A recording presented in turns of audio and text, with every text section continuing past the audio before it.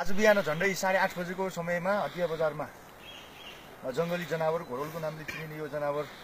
स्थानीयले फेला पारिसकेर यसलाई समातिसके पछाडि तत्कालै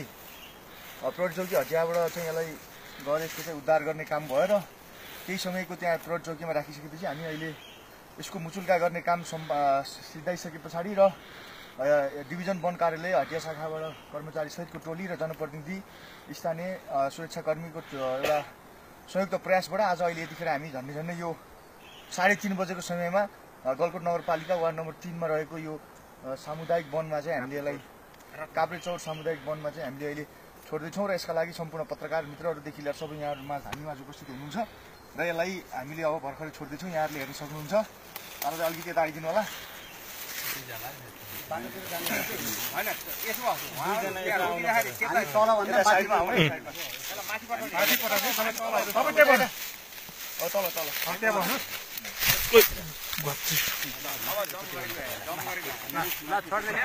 हामीले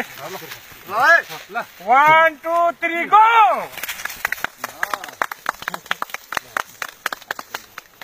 कहाँ पुग्यो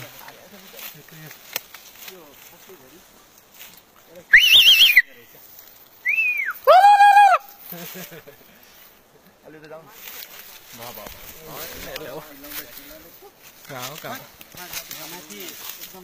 राम्रो ठाउँ छ